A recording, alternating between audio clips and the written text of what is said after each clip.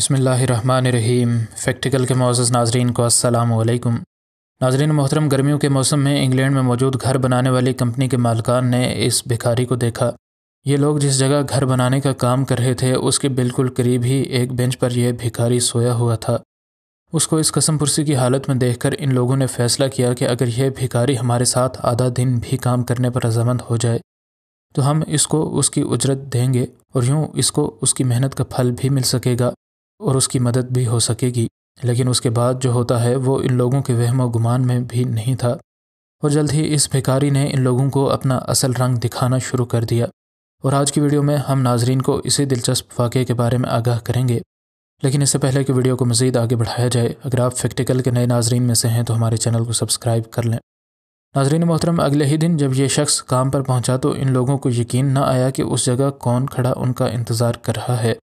جے جے مرے نام کا یہ ٹھیکیدار امپائر کنسٹرکشن کے نام سے ایک بزنس برطانیہ میں چلاتا ہے۔ اگست دو ہزار سترہ میں مرے اور اس کے ساتھ کام کرنے والے تمام لوگوں کو اس واقعے کو اپنی آنکھوں سے دیکھنے کا موقع ملتا ہے۔ یہ کہانی اس قدر خاص تھی کہ جو ہی مرے نے اس کہانی کو اپنے فیس بک پیج پر پوسٹ کیا، یہ کہانی پلک جھپکنے میں وائرل ہو گئی۔ اس کہانی کی ابتدا تب سے ہوتی ہے جب مرے کو ایک شخص کی کال آئی کہ اس نے اپنے گھر کی چھت کا کام کروانا ہے۔ اس کو یہ چھت اکھاڑ کر اپنے گھر پر نئی چھت ڈلوانی ہے۔ آج ان کا کام شروع ہو چکا تھا اور ان کا آج کا دن گزشتہ دنوں کی طرح ہی شروع ہوا۔ لیکن یہ عام دن تب خاص دن میں بدل گیا جب ان لوگوں نے اس شخص کو دیکھا۔ وہ گھر جس میں ان لوگوں کو کام ملا تھا، اس کے بالکل قریب ہی لندن کا ایک پبلک پارک تھا۔ اور جب یہ لوگ اس پارک کے پاس سے گزرے تو ان لوگوں نے اس پارک کے ایک بینچ پر ایک انسان کو سوئے ہوئے دیکھا۔ اس غریب شخص کو دیکھنے کے بعد ان لوگوں نے اس کی مدد کے لیے کچھ کرنے کا سوچا اور آخر وہ اس کے لیے ایک کپ چائے لے کر آ گئے۔ یہ اجنبی شخص جو کہ ایک بھکاری تھا، اس نے اس گرم چائے کے کپ کو بخوشی قبول کر لیا، لیکن اب وہ ان لوگوں کا شکریہ ادا کرنے کے بعد ان سے پوچھ چکا تھا کہ کیا آپ کو اپنے کام میں مدد کی ضرورت ہے۔ اس کا یہ سوال سن کر اس ٹھیکیدار کو حیرت تو ہوئی، لیکن اس نے بادل نخواستہ اس بے گھر شخص کو ایک موقع دینے کا فیصلہ کر لیا۔ مرے نے اپنی ٹیم سے مشاورت کے بعد اس کو نئی کنسٹرکشن کی جگہ کا پتہ دے دیا اور اس کو کہا کہ اگلے دن صبح اس وقت وہ اس پتے پر پہنچ جائے تاکہ ہم تمہیں کچھ کام دے سکیں۔ اگلے روز جب وہ اس گھر پہنچے جس گھر میں وہ کام کر رہے تھے، تو ان کی حیرت کی انتہا نہ رہی جب انہوں نے دیکھا کہ یہ بھیکاری ان کے پہنچنے سے پہلے ہی وہاں پہنچ چکا تھا۔ یہ لوگ اس شخص سے ملے اور اس نے اپنا نام جان بتایا اور ان لوگوں کو بھی ایک اضافی شخص کی مدد کی اشد ضرورت تھی۔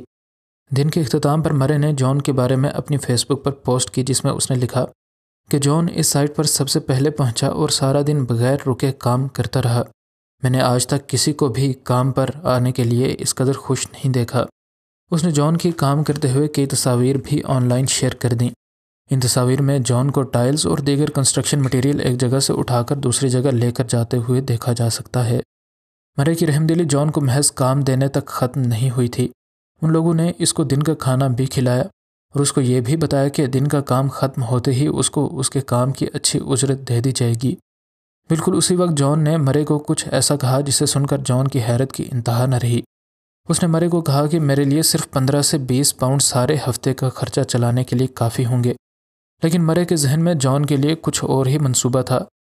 اگرچہ جان نے اپنی اچھائی کا اصل رنگ دکھا دیا تھا، لیکن مرے نے اپنی باقی کام کرنے والے لوگوں سے مشورہ کر کے سب کو پیسوں میں حصہ ڈالنے کا کہا۔ اور یوں ان سب نے مل کر جان کو اس کی مانگی ہوئی چھوٹی رقم کے بجائے کچھ زیادہ رقم دی۔ ان لوگوں نے آپس میں پیسے جمع کر کے اس شخص کی مانگی ہوئی پندرہ پاؤنڈ کی رقم کے بجائے اس کو پچہتر پاؤنڈ رقم ادا کی تاکہ یہ کچھ دنوں کے لیے اچھی طرح گزارا کر سکے۔ یہ رقم دیکھ کر جان کی خوشی کو یقیناً الفاظ کے دائرے میں لانا ممکن نہیں ہے۔ یہ رقم لینے کے بعد بجائے اس کے کہ یہ ان کو الوداع کہہ کر چلا جائے۔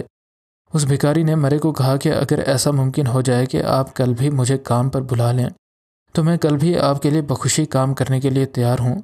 اس ٹھیکیدار نے بخوشی اس کی آفر مان لی اور کہا کہ کل بھی اسی وقت اس گھر میں آ جانا۔ ان لوگوں کو الوداع کہتے ہوئے جان نے ان لوگوں کو کچھ ایسا کہا جس نے ان سب کے دل توڑ دیے۔ اس نے کہا کہ شکریہ بھائیو، مجھے آپ سے جتنا پیار اور محبت ملی ہے، اتنی آج تک مجھے کسی سے بھی نہیں ملی۔ یہ الفاظ ان سب کے دلوں پر ایک کند تیر کی طرح لگے اور ان لوگوں کو اس شخص کی گزشتہ زندگی پر دکھ بھی ہوا۔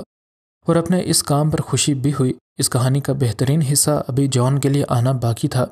جیسے جیسے یہ پوسٹ وائرل ہوتی گئی کئی لوگوں نے اس پر اپنی رائے کا اظہار کیا۔ ہر کسی کا ہی یہی خیال تھا کہ کام کرنے کا اتنا شوق اور لگن رکھنے والے شخص کو یوں بے گھر سڑکوں پر نہیں رہنا چاہیے۔ اور ایسے ہی سوچ کے مالک کچھ لوگوں نے جان کی سالوں کی خواہش پائے تکمیل تک اس کو سر چھپانے کے لیے جگہ کی صورت میں دے کر پہنچائی۔ ان لوگوں کی وجہ سے اب جان کے پاس رہنے کے لیے گھر تھا۔ اور یوں وہ وقت کے ساتھ اپنے حالات بھی اب بہتر کر سکتا تھا۔ مزید نئی ویڈیوز کے لیے ہمارے چینل کو سبسکرائب کر لیں۔ ویڈیو پسند آنے کی صورت میں ویڈیو کو لائک اور شیئر ضرور کریں۔ انشاءاللہ ملتے ہیں اگلی ویڈیو میں۔ فی امان اللہ۔